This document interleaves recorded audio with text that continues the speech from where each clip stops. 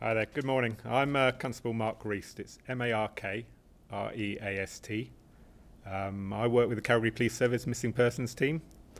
Um, we're, we're, asking for the public's help again. Um, so we're once again asking for the public's help to find a man who's been missing since March. Uh, Jordan Boucher. He left Salmon Arm, BC, sometime in November 2020 and arrived in Calgary on Saturday, November the 28th, 2020. Um, he was seen at the First Alliance Church on Saturday, February the 20th, and then we have a last sighting of him at the Flying J truck stop um, on the evening of Friday, March the 5th. When Jordan came to Calgary, he was driving a white four door 2020 Volkswagen Jetta GTI with BC plates KR2 49R. The vehicle had a wolf sticker on the back bumper. We asked the public for help uh, to locate the car, and it was found in May in the Walmart parking lot near the intersection of Heritage Drive and Blackfoot Trail Southeast. Despite finding his vehicle, Jordan has still not been located, and we are very concerned for his welfare. Um, Jordan, he is in his late 20s, six foot two tall, slim build with brown eyes and brown hair. Uh, we're asking anyone with any information on Jordan's disappearance or his movements um, any time after March the 5th to call us at 403 266 1234. Um, tips can also be submitted anonymously to Crime Stoppers.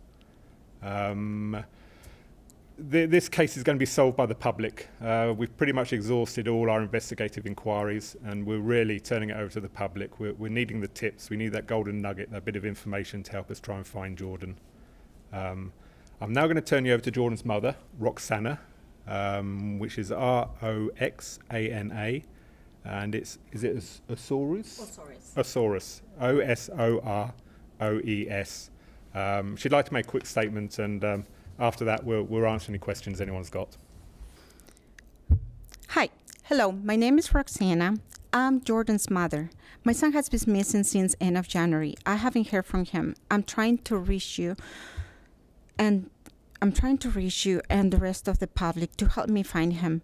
He's very motivated and kind-hearted young man um, he's always looking. He has so much dreams and and keep going and looking for any ways to find and reach his goals.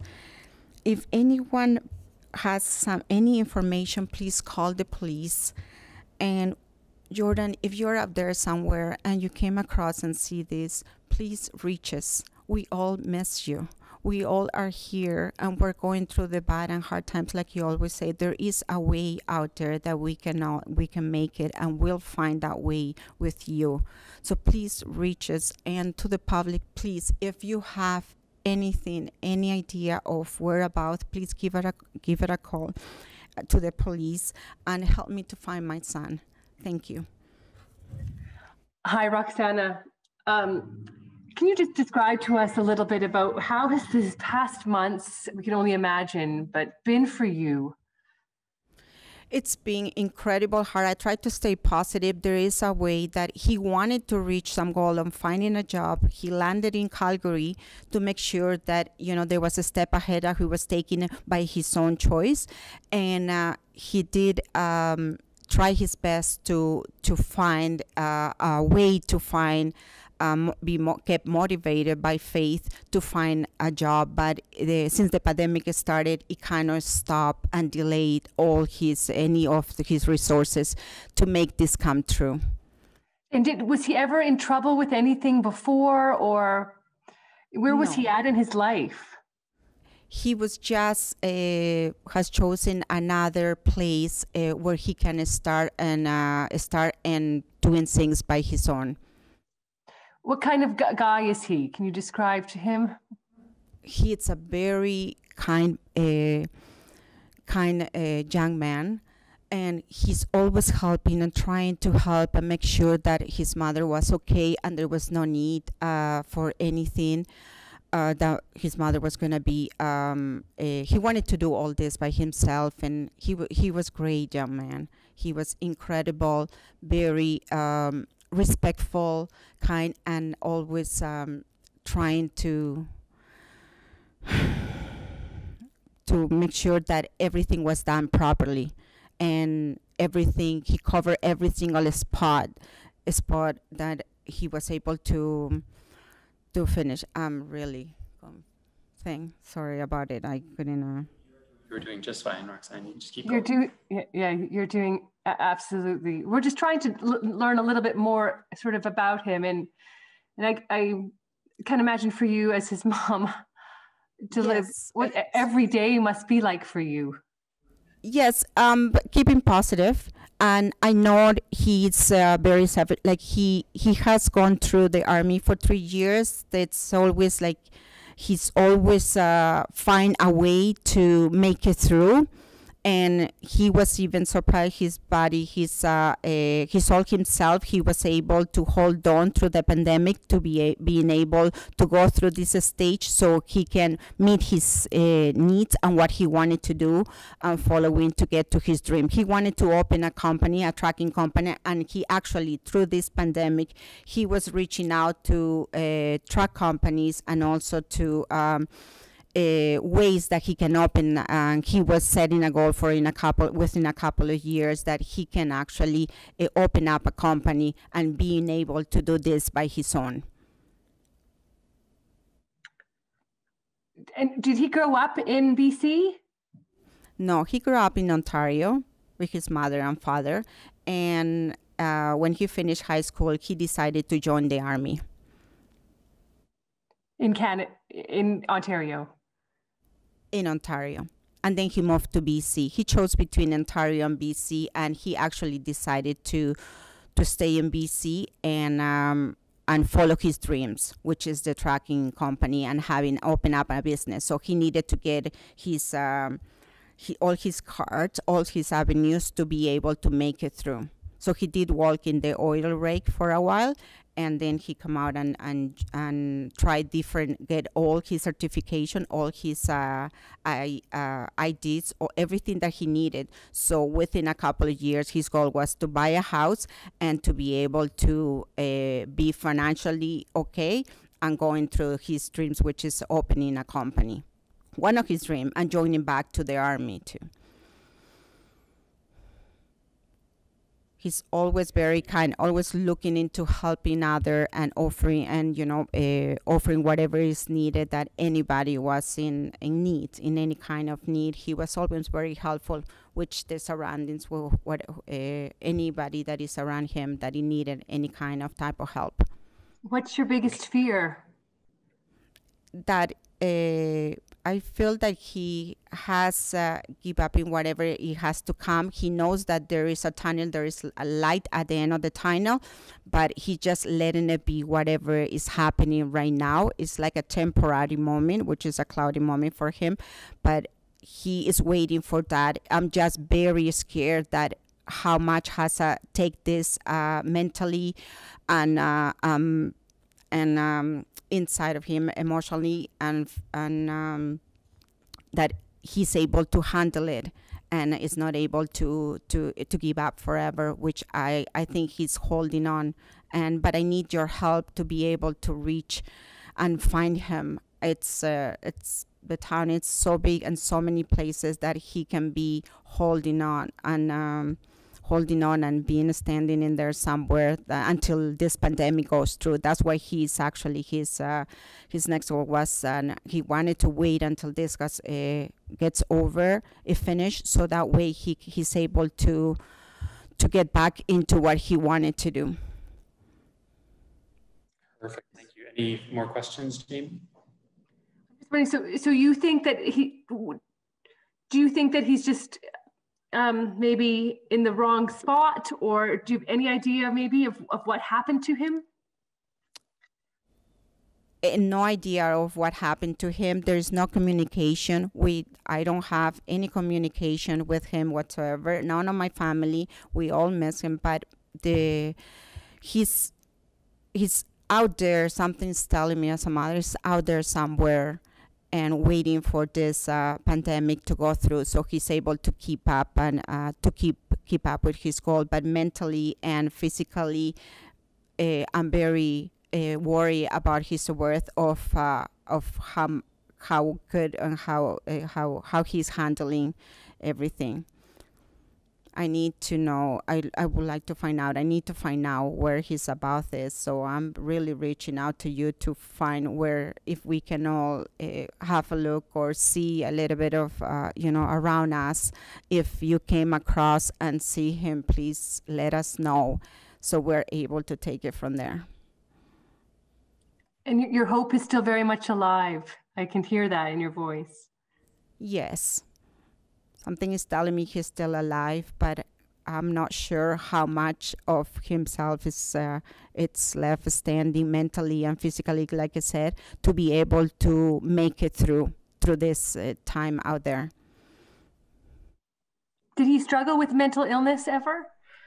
No. Okay, any, any further questions? Corwin, just one last thing. Sorry, there was no um, history of any, um, any criminal history at all?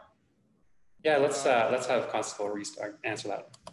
Absolutely. There's there's no criminal history at all with Jordan. Um, he's very much he's a young man. Uh, speaking to Roxana, he's incredibly determined. Um, he's tried to better himself, so he's come to Calgary. He doesn't know the city at all, so he, he's come to Calgary, um, and and he's I don't know. We're operating very much on the belief that he is still alive um, until we get evidence to the contrary. Um, saying there's no criminal history with him at all. Um, uh, and yeah, he's he's come to the city. He he doesn't know the city. He has no resources in the city and stuff, which is why we're so concerned uh, about his welfare and his well-being. And it's very much a case of if if he reaches out um, to us, if he doesn't want any involvement with the police, if he doesn't want any involvement with his family, that's fine. That's a decision for Jordan. Um, but we just need to check on him to make sure he is fine and well. But we do believe he's very much alive. And sorry, I see Dave has a question. Sorry, I missed your hand there. You can go ahead. Um, hi, I'm just wondering for Constable Reast, uh, when you guys located his vehicle, were you able to sort of gain any information or insight into the situation from that? No, so we canvassed the area um, where the vehicle was for uh, obviously video surveillance and stuff. Unfortunately, it's parked away from any camera coverage. Um, we've pursued a number of, of investigative avenues with the vehicle. However, they've all been negative, so we've got no idea when Jordan parked the vehicle at that location or or what happened following that. Do you know that he parked it there or, or Uh, again, as I was saying, we, we've we've been unable to trace any video surveillance or stuff. So um, it is it's we, we don't know who's parked the vehicle there, but we do believe Jordan did park that vehicle at that location. Okay, I see Radana has a question. Hi, um, this is probably for Roxanne. I'm just wondering if Jordan has ever gone um, MIA like this before, where he's cut off contact with his family. Is it unusual for him to not speak with his family, and especially for this long? Uh, I don't think this was premeditated. Like he went and drove uh, to Calgary, and he was between Calgary and Ontario to see where he was gonna continue his journey, and he decided to go to Calgary, and and to look for a job in there to open the doors to see uh, if he would start. The only problem is he didn't took any any help during the time of the pandemic, and like we all knew, the pandemic we didn't know if it was gonna last a week or it was gonna last like it did this time. So this kept uh, going and took a toll on him on on how long it's been that people were hiring people, you know. Uh, so it kind of got against what his uh, plans were, and uh, and it's so much that uh, he was able to hold on, to be able to cover and continue, uh, you know, committing with you know all his staff and payments and all that. So this kind of brought him into into this position, and that's when he made the decision on, I guess, on continuing in food by food, I think, and uh, left the car in there, and uh, and from there we haven't heard it since the phone is being uh, disconnected. I haven't heard any. And by, by within that time, we were in contact every day. Every day we had uh, for some reason whatever we were eating or he was eating he was actually leaving but he didn't want any help he really wanted to do it by himself and, uh, and there was no way that we could change that in his mind and I tried so many resources and so many ways that I uh, we were all trying to help through this uh, stage. And uh, once the pandemic, that we understood, but he really was determined on it's something it was gonna come and and very soon. And he had faith. Um, he was very positive on this is a, a short transition that he was gonna be able to go through um and reach where he wanted to go. Okay, Where was so he staying? Yeah. And um, what what did you talk about the last time that you talked to him? The last time that we talked to him, it's he met my other son actually, and that he was coming to Ontario, and um, and I was telling him, okay, how did he go and everything, how you guys stayed, they share a hotel together, and um, and then he, I thought he, he was gonna convince him to come alone, and uh, and wait until this pandemic is, uh, goes uh, stops, and then he will get back, and that way he can visit his mother and spend some time like he always wanted because he said soon after I find a job and that and I'm settled and I find my apartment, then I'm gonna be uh, reach, uh, coming back and seeing your mom. So he had program and plans already in set, but this was very determined and this was his thing. So I tried to keep in in in touch with him and just being beside while he was going through his stages in life like any mother i assume will be and trying to do her best as you know sharing things with his son and uh, he's always very trying and saying you know ma you always find a way and and i try to give them that. Don't give up and keep going. There's always something will come up. So i'm pretty sure he has that uh, in his mind and he's focused on and determined on on on finding a way to go through and to the through this but I'm very, very worried about where he's about and where he is in this long and missing him dearly. And I can't go one. I stay up at night and I keep waking up since four to five o'clock in the morning. That's my Jordan. It wakes me up at night time and thinking that I'm in a roof and my son is out there somewhere. I it's hard to understand for a mother a way how this can happen when you're he's has a very loving we don't have nothing that he has separate us. And we actually were being so close together after he turned he come out of the army. And and out of the sudden not to hear from him not to know anything from him it just really uh, it takes a toll on on your beliefs and things but as i am i'm very positive he is hanging in there. And aside what he's able to do he's doing as much possible to keep going and and doing what he wanted to do which is going through and waiting until he's able to get back in his feet. I but i need to hear from him. I need to reach out to him i know he's out there somewhere and other than that i don't know um, what, what else is there. So i need please to to contact the police if you have any idea or anything that ha- that he looks like him that it's him that you can see him. He's very he keeps it for himself and he's very uh, a quiet person. So he's gonna be out there. He's probably uh, out there somewhere and and trying to figure it out and doing it in his own more than in a group of people. So please, I ask again if with your help, I think I can find my son somewhere in this city. Thank you.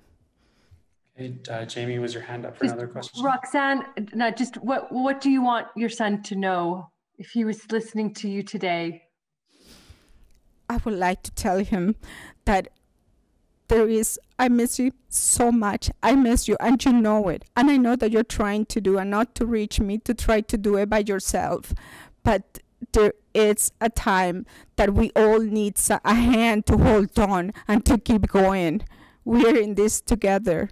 I brought you to this world. I know you can do it, and you have the faith that you can do it. But it's so much that sometimes you need to take this little bit of transition and be somewhere that you can get some your close family or somewhere that you can have a roof instead of being out there with so much danger anything can happen.